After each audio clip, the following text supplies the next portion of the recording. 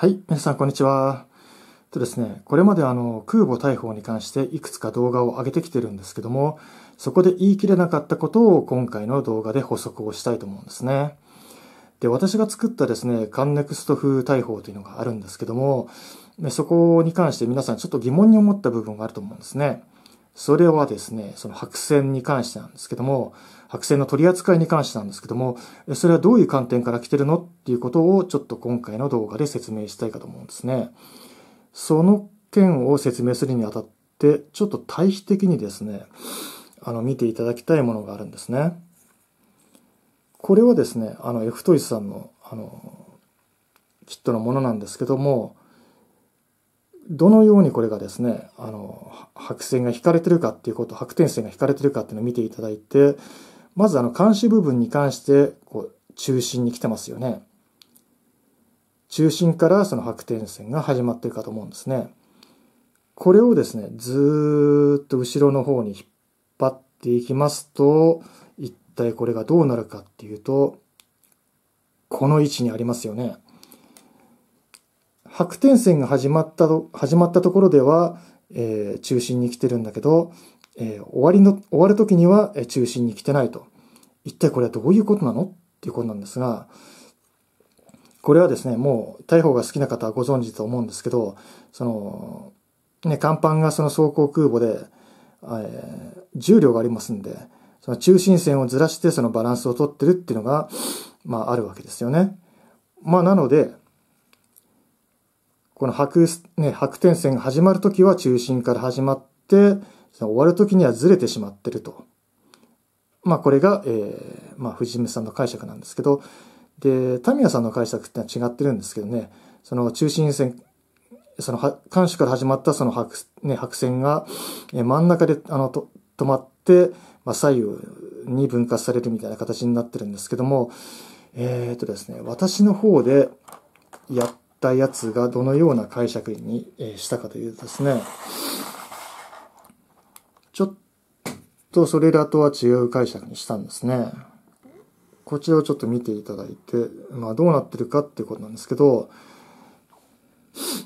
で、かあの、監視の方から中心でずっとこう来て、まあこの辺りでこう切り返しと、っていうかですね、こうわざとずれるような形に持ってくんですけど、まあ、これはなぜこのような形にしてるかっていうとですね、完備に来た時に一体どう、この、ね、白線がどうなってるかっていう話なんですね。で、こうやって見ていただくとわかるんですけど、こう今、完備から眺めていただいてる、ね、皆さんがちょうど飛行機で、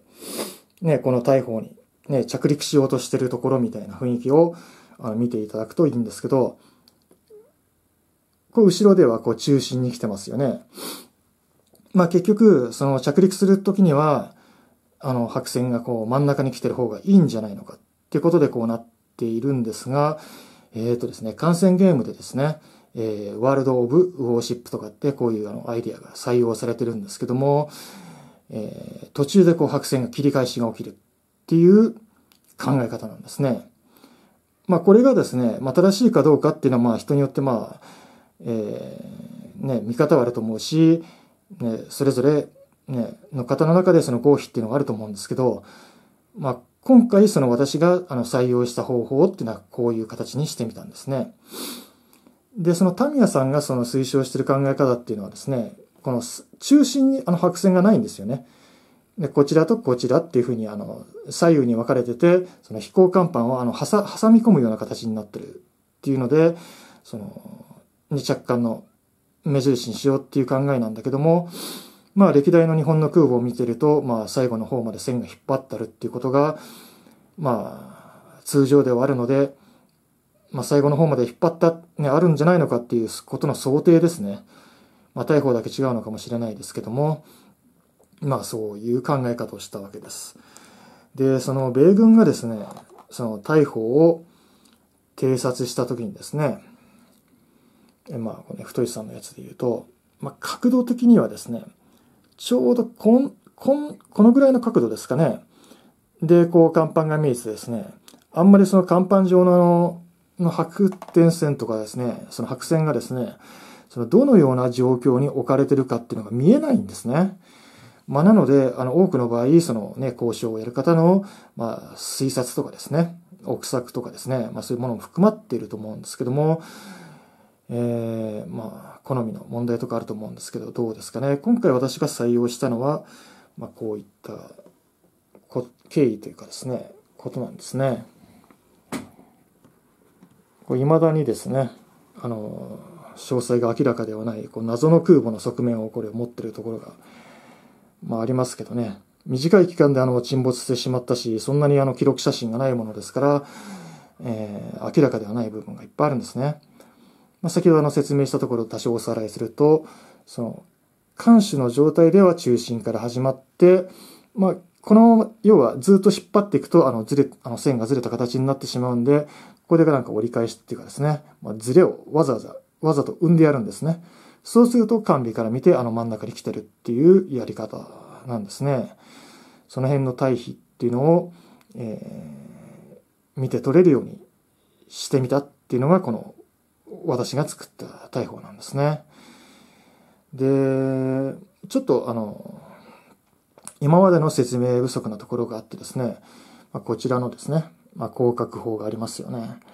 これ、あの、普通にやるとちょっとはい、ここに入らないんですよ。この藤見さんのこの超10センチ法が。この部分のね、下駄がですね、ちょっと傘があるもんですから、あの、この飛行甲板にぶつかってしまうんですね。で、これを避けるためにはですね、その台座を少し削ってやる必要があるんですけども、まあ、削ってやってこういう形に入ってるっていう部分がありますね。まあ、ここをですね、まあ削ってもですね、あんまりこちらとこちらのね、高さの違いってのはそんなには目立たないですけどね、よーく見ちゃうと、こうね、目を凝らしてよく見ちゃうと、あ、なんか高さが違うかなっていうのは少しぐらいはあるかもしれないですけども、まあそんなにはわからないと。まあいう形になってますね。でですね、この環境のですね、この付け根の部分、根っこの部分ってですね、結構これ藤見さんのものと、あの、大きさってほぼ近かったりとかするんですよ。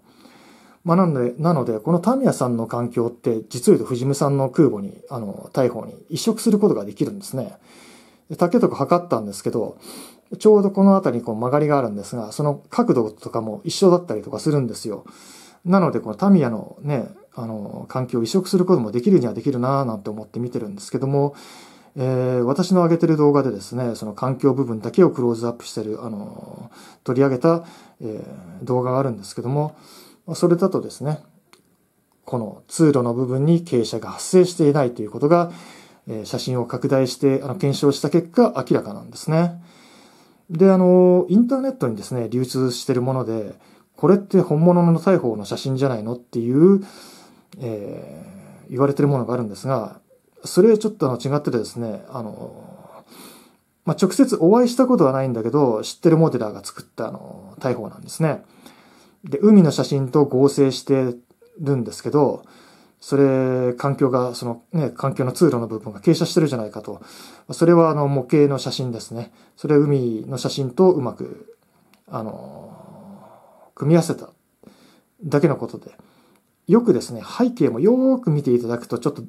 変なところに団地とかが発生してですね、そのフォトショップによる合成写真だっていうことが、あの、わかるところが多々あるんですけど、あれは、あの、模型の写真で、実感の写真じゃないんですね。まあ、なので、えー、まあ、こういうふうに、まあ、このようにですね、あの、通路が傾斜してないのが、まあ、正しい解釈だと私はそう考えています。まあ、私も写真拡大して、あの、検証しましたしね、それでいいと思うんですね。で、太いさん、先日紹介した太いさんの大砲も、えー、環境のところは傾斜はないですね。だからですね、藤見さんもですね、環境の部分だけを一部その手を加えてですね、あの、ね、再リニューアルしたらいいんじゃないのかなと思うし、あるいはですね、その関連、あの船ネクストを出すときにですね、あの、もうちょっと整合性のある形で出すといいんじゃないかなっていうふうに、私なんかそんなふうに思いますけどね。まあ、いずれにしてもですね、このタミヤの大砲、私は好きですね。ね、大砲と言ったらこれかなっていうようなイメージとかありますからね。あとてもいい船だと私は思いますよ。あの、まあ、シナノも人気ですけどね、まあ、シナノはあのね、戦艦から改造したから、こう横幅とかありますけども、まあ、最初から高速空母として設計されてるんで、シャープ感がある、ありますからね、もしこのまま残っていたらね、